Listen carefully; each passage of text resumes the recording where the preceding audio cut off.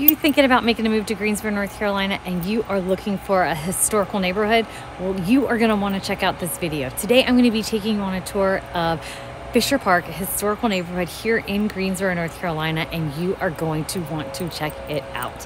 My name is Meredith Parsons. I'm a realtor. I live here. I love it here. I want you to move here and love it here as much as I do.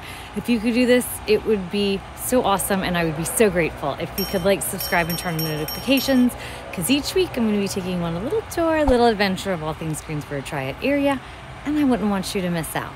Are you ready to go check out Fisher Park? Let's go.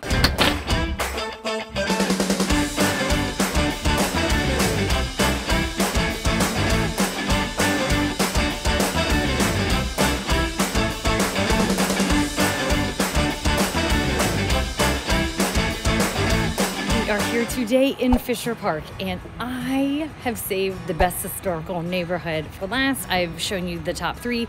This one is my favorite, so I saved the best for last. If you have not seen the other videos, go check them out. The first one was College Park, College Hill, and the second one was Dunleith, and then the I saved the best for last is Fisher Park. So Fisher Park is one of the first subdivisions here in Greensboro. And it first started out, it's right down and right in the middle of downtown. So you are so close to all the things um, downtown. So, but it's definitely a neighborhood, like it feels like a neighborhood, right? I mean, just here's the pan of how beautiful it is here. All the houses. And downtown is right down there. So because it's so close to downtown, a lot of the houses um, were starting to get renovated into buildings or they were demolishing them and then building buildings because you're, you're downtown, there's office buildings. So in 1992 and then in 1996, they further moved out and saved some of the buildings so that they could be under the um, Preservation Society of being a historical home. So right now, let me tell you about the houses. So the houses range, so they have townhouses here, which are 138,000, or we are going up to like well over a million for a house. So it runs a whole wide variety of pricing here. And it's just, these historical homes just fill me with so much joy. Like, look at these brick. Are they not gorgeous? Like, look at that house. But look at how pretty this house is.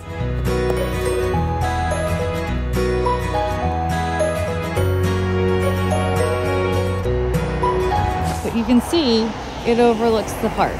So let's walk over here. And you can see over in the distance, those are much bigger houses than what we were, I was walking down that street down here. But so here's the park. And you can see the stream going through it.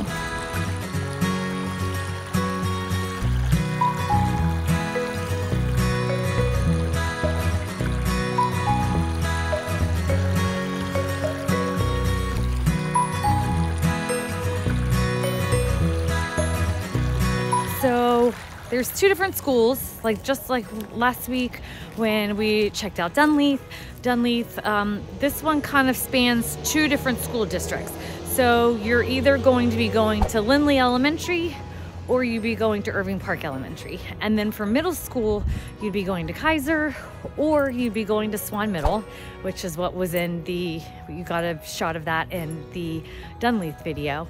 And then, um, you're definitely slotted for Grimsley for your high school. So go Whirlies. And my kids go there. So, um, yeah. And I just love the fact that you can walk around. There's sidewalks, there's trees everywhere. It is gorgeous in the spring. I wish it was spring, but today's a pretty day anyway, so we're okay with it, right? So um, you're 13 minutes to the airport. You are half a mile from downtown. You could walk everywhere. It's a really great location. So if you are looking for a historical home, this one's my favorite. And I, I also like that the lots are different sizes and I feel like some of them are bigger, some of them are smaller, sandwiched together. So you kind of get to pick and choose what you want. And I also feel like in these older neighborhoods, you get to have these established landscaping, um, which may not be everyone's cup of tea. You could always pay someone to take care of it, but you're paying for the old trees and you're paying for the landscaping and the shrubs and the ivy. And I mean, just look at this behind us. You've got that gorgeous magnolia. You've got boxwoods. You've just got all the pretty things. I mean, look at the slate roof on that house over there. Um, just like in Dunleith, you know you're in Fisher Park because they've got the street signs. Why don't I go drive you around and show you the houses and um, then I will go show you some stomping grounds that are close by, places you can go and eat, go to a bar, go see some baseball.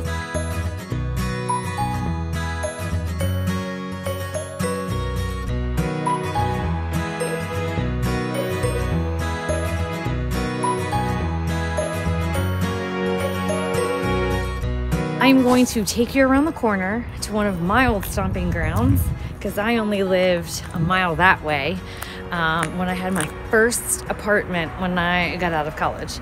And I'm going to show you uh, one of my favorite restaurants.